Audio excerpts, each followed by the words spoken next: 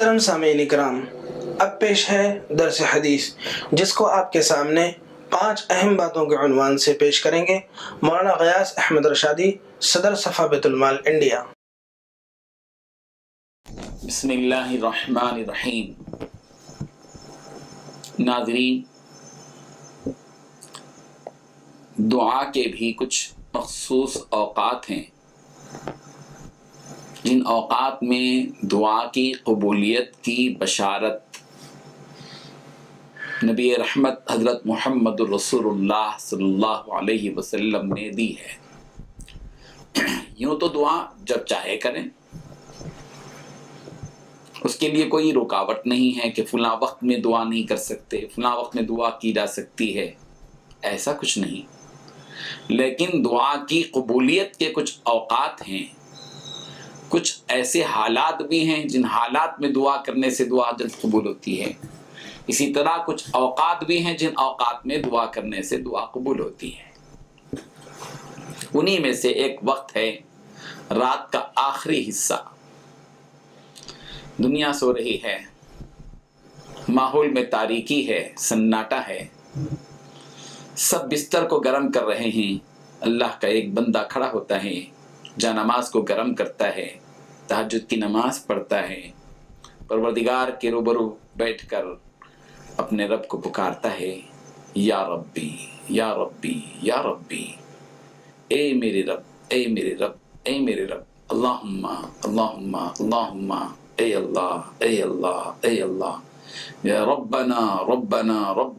हमारे रब, हमें हमारे रब। कितना अच्छा लगता होगा अल्लाह ताला को एक छोटा बच्चा।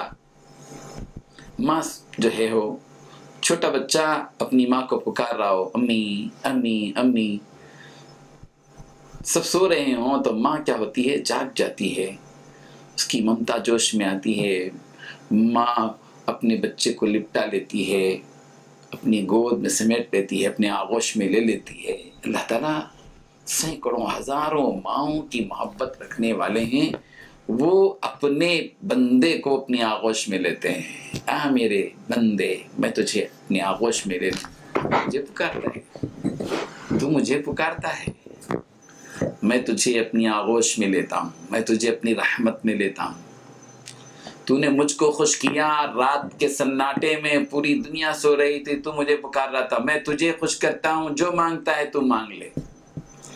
यही वजह है कि नबी रहमत हज़रत मोहम्मद वसल्लम ने इरशाद फरमाया अल्लाह ताला हर रात को आसमान दुनिया पर नजूल फरमाते हैं यहाँ तक कि जब रात का पिछला हिस्सा बाकी रह जाता है यानी थोड़ा हिस्सा बाकी रह जाता है यानी फजर से पहले पहले का जो वक्त होता है तो फरमाते हैं अल्लाह ताला कौन मुझे पुकारता है कि मैं उसकी दुआ कबूल करूँ कौन मुझसे माँगता है कि मैं उसको अता करूँ कौन मुझसे मगफिरत माँगता है कि मैं उसे माफ़ करूँ कर तिरमीजी में ये रिवायत मौजूद है। एक अवकात में से अहम तरीन वक्त जो दुआ करने का है, वो है रात का आखिरी हिस्सा, पिछला हिस्सा सहर का वक्त तहजद का वक्त, नमाज़ फजर से पहले का वक्त। इसी तरह शब कदर के बारे में भी है। अल्लाह तबारक व कदर की रात अल्लाह ताला अपने बंदों की दुआओं को कबूल करते हैं। लेकिन कदर की रात को अल्लाह ताला ने पाँच रातों में छुपा दिया है। यही वजह है कि अल्लाह के प्यारे पैगंबर वसल्लम ने इरशाद फरमाया कि शब कदर को तुम रमज़ान मुबारक के आखिरी अशरे की ताक रातों में, यानी इक्कीस रमज़ान, तेईस रमज़ान, पच्चीस रमज़ान, सत्ताईस रमज़ान और उनतीसवीं रमज़ान, ये पाँच रातों में तलाश करो। लोग, और बात है कि मारूफ हो गया, मशहूर हो गया, सत्ताईसवीं रमदान को लोग शब कदर मुतन कर लेते हैं। ये तयन नबी रहमत हज़रत मोहम्मद रसोल्ला की तरफ़ से नहीं है। ये और बात है कि बास ज़्यादा रिवायतें इसी रात के सिलसिले में हैं, लेकिन तयन नहीं है। अगर तयन होता तो सरकार तम तलाश करो का हुक्म न देते। ये कह देते सरकार के भाई रमदान मुबारक की सत्ताईस तारीख ही को शब कदर है, बस उसी रात इबादत कर लो।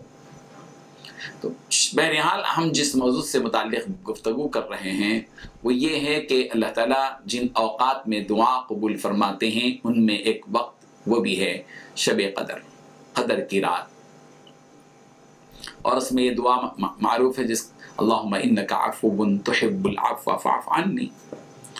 और इसी तरह मैदान अराफात में जब नौ दिल दिलहजा को सारे हजाद कराम जमा हो जाते हैं, एक ही मैदान में लाखों आज़मीन हज हज के फरीदे को अदा करने के लिए आते हैं। और हज के सबसे बड़े रुकन वकूफ़ अरफा जिसको कहते हैं, अरफे के मैदान में ठहरना जिस पर हज की अदायगी मौकूफ है कि जिसको अरफे का वकूफ मिल गया, उसको हज मिल गया, और जिसको अरफे का वकूफ नौ दिलहिजा को नहीं मिला, उसका हज ही नहीं मिला। उस दिन नौ दिलहिजा को जो लोग भी अरफे के मैदान में ठहर कर अल्लाह ताला से भीख मांगते हैं, अल्लाह ताला उनकी दुआओं को कबूल करते हैं। कितने खुशनसीब हैं वो लोग जो हज को जा रहे हैं।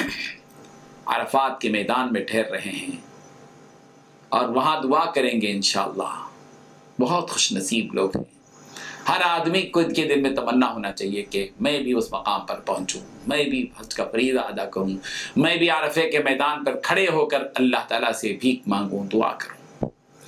और इसी तरह दुआ की कबूलियत के औकात में से एक वक्त जुमा का भी है। जुमे के दिन अल्लाह ताला ने एक घड़ी ऐसी रखी है, जिस घड़ी के बारे में भी तयन नहीं है, जैसे शब कदर में कौन सी रात है, उसका तयन नहीं है, फिक्स नहीं है। वैसे ही जुमा के दिन की भी एक ऐसी घड़ी है जिसको अल्लाह ने छुपा रखा है। बाज़ रिवायतों में बाज़ बातें हैं, बाज़ रिवायतों में बाज़ बातें हैं। चुनाचे जुमे की मखसूस सात, जिनमें से दो रिवायतें हैं। एक ये कि अजान के, यानी जुमे के दिन जब खुतबा शुरू होता है, उस वक्त से लेकर, यानी इमाम मिंबर पर जब खड़े होता है, उस वक्त से लेकर खुतबे नमाज़ के ख़त्म होने तक का जितना वक्त है, उस वक्त में अल्लाह ताला बंदे की दुआ को कबूल करते हैं। और जुमे, दूसरी रिवायत में नमाज़ असर के बाद से, जुमे के दिन नमाज़ असर ले, से लेकर मगरिब तक का जो वक्त होता है, उस वक्त की दुआ को अल्लाह ताला कबूल फरमाते हैं। ये दो अवकात हैं जुमे के दिन की। इसीलिए इन दो घड़ियों में अल्लाह ताला की तरफ़ मुतवजह होना चाहिए। हफ़्ते भर की जो भी चीज़ें हैं वो एक वक्त मुतन कर ले। दो वक्त, कौन सा कितना बड़ा वक्त है? इमाम जब मिंबर पर जाता है, उस वक्त से लेकर। नमाज़ के मुकम्मल होने तक का जो वक्त है, उस वक्त में आदमी अल्लाह ताला की तरफ़ मुतवजह हो, दुआ करता रहे, जो भी उसकी ज़रूरत है। और जुमा के दिन, असर की नमाज़ से लेकर मगरिब तक का जो वक्त होता है, उस वक्त में अल्लाह ताला से दुआ मांगे। ये दुआएँ कबूलियत का वक्त के अवकात है। इसी तरह अजान के वक्त भी अल्लाह ताला दुआ कबूल करते हैं। जब मुआजिन अजान पढ़ रहा हो, उस वक्त में भी दुआ करें। और मैदान जिहाद में जब मुजाहिदों की सब बंदी की जा रही हो, उस वक्त में भी अल्लाह ताला बंदों की दुआएँ कबूल करती हैं। करते हैं।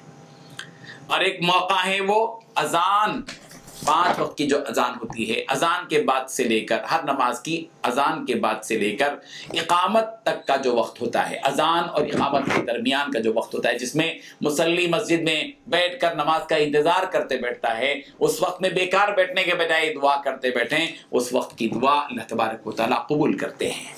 ये दुआएँ भी कबूल होती हैं। आज उम्मत का एक बेशतर तबका अजान से लेकर इकामत तक का जो वक्त होता है, बेकार बातों में लगाते हैं, ठीठी ठाटा में लोगों की गीबत में और गुजार देते हैं। एक अहम तरीन वक्त होता है जिसमें अल्लाह ताला अपने बंदों की दुआ को कबूल फरमाते हैं। इसीलिए दुआ अजान और इकामत के दरमियान। और इसी तरह रमज़ान मुबारक के मौके, आयाम में इफ्तार के वक्त की दुआ भी कबूल होती है। इफ्तार के वक्त और इसी तरह फ़र्ज़ नमाजों के बाद है, उसकी वो दुआएँ भी कबूल होती हैं। हर फ़र्ज़ नमाज़ के बाद का जो वक्त होता है, उस वक्त में भी दुआ करें। इज्तमाही दुआ नहीं हो रही हो, कोई बात नहीं। हमारी अपने अपने इनफरादी तौर पर भी हम अपनी दुआ कर लें, अल्लाह ताला से मांगें। इसी तरह सजदे की हालत में ये भी दुआ कबूल होती है। नबी करीम सल्लल्लाहु अलैहि वसल्लम फरमाया, सजदे की हालत में बंदा जब अपने रब से बहुत ही करीब, बहुत से हो जाता है और अल्लाह ताला का कुर्ब हासिल कर लेता है तो बस तुम इस हालत में खूब खूब दुआ मांगो। अल्लाह ताला से मांगा करो। चूँकि सजदा एक ऐसी हालत है जो बंदे और अल्लाह के दरमियान में बिल्कुल कुर्बत हो जाती है, नज़दीकी हो जाती है। जैसे मानका होता है, आदमी आदमी से मुलाकात करते हुए जो मानका करता है तो बिल्कुल एक दूसरे से दिल करीब हो जाते हैं। वैसे ही सजदे की हालत में बंदा अपने रब से बहुत करीब हो जाता है, इसलिए उस वक्त में अपने रब से खूब मांगे।